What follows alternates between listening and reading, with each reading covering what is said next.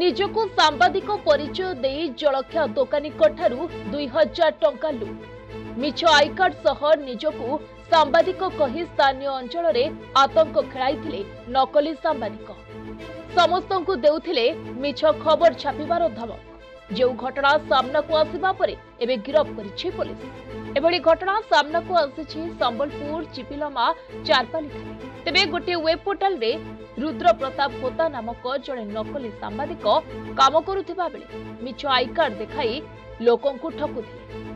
ଏପରିକି ଜଣେ ଜଳଖିଆ ଦୋକାନୀଙ୍କଠାରୁ ଦୁଇ ହଜାର ଟଙ୍କା ଲୁଟ୍ କରିଥିବା ଅଭିଯୋଗରେ ବୁଲା ପୁଲିସ୍ ଗିରଫ କରି କୋର୍ଟ ଚାଲାଣ କରିଥିବା ନେଇ ସୂଚନା ରହିଛି ତେବେ ଖବର ଅନୁଯାୟୀ ଚିପିଲମା ଚାରପାଲି ଛକରେ ସୁଶାନ୍ତ ପଟେଲ ନାମକ ଜଣେ ଜଳଖିଆ ଦୋକାନୀଙ୍କ ନିକଟକୁ ଯାଇ ରୁଦ୍ର ପ୍ରତାପ ହୋତା ଟଙ୍କା ପାଇଁ ଦାବି କରିଥିଲେ ତେବେ ଏନେଇ ଦୋକାନୀ ତାଙ୍କୁ ମନା କରିବାରୁ ନକଲି ସାମ୍ବାଦିକ ଜଣକ ଦୋକାନୀଙ୍କ କ୍ୟାସ୍ ଆକାଉଣ୍ଟରୁ জোর জবরদস্তি দুই হাজার টঙ্কা লুট করে নিয়ে চালি যাই পরে এনে দোকানী জনক বুলা থানায় লিখিত অভিযোগ দেওয়া পরে বুলা পুলিশ এক মামলা রুজু করে নকলি সাংবাদিক গিরফ করে কোর্ট চালাণ করেছে তবে এসহ গিরফ হয়ে নকলি সাংবাদিক নিকটর নগদ পনেরশহ টঙ্কা এক প্রেস আইডি কার্ড সহ মোবাইল ফোন কু বুলা পুলিশ জবত করে সূচনা মিছে সম্বলপুর ମାନସ ସାହୁଙ୍କ ରିପୋର୍ଟ ପ୍ରତିଦିନ ଟିଭି